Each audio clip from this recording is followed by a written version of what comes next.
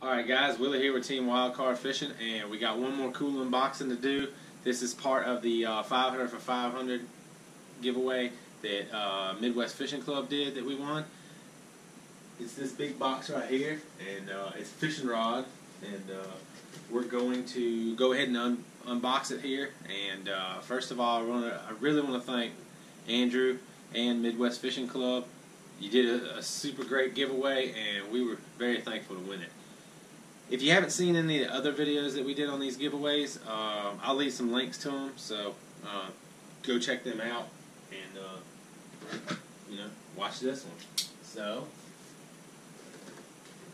this is going to be out of frame a little bit, but uh,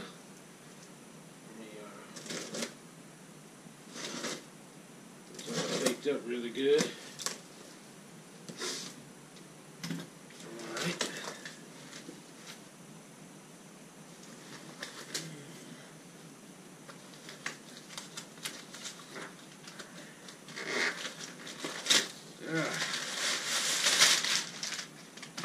Alright.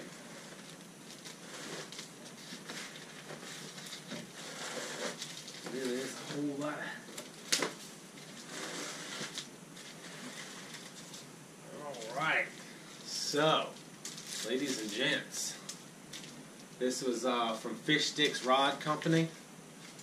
And uh, so this is complete handmade.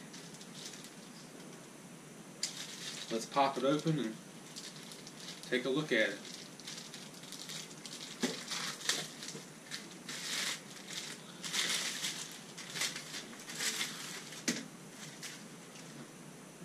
Alright, so this is a seven foot and um, this is a custom builder series IM6 graphite. You can see it's got, let me flip this around so you can see it. It's got the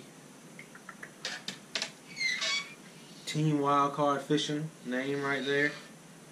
So I'm painting myself into a corner over here. Uh, we picked the green green uh, wraps here for the eyes and everything. It turned out really good for our team colors and all. Awesome looking cork cork handle. A good looking rod. So that is it. Like I said, we want to thank so much. We want to thank Fish Stix. Um, go check them out. I'll try to put their uh, website address on there. Um, go check out Andrew's channel. He did a phenomenal giveaway, so if he ever does another giveaway, you're definitely going to want to get in it. Um, great guy. The, the, channel's doing real well, and uh, we're happy for him. So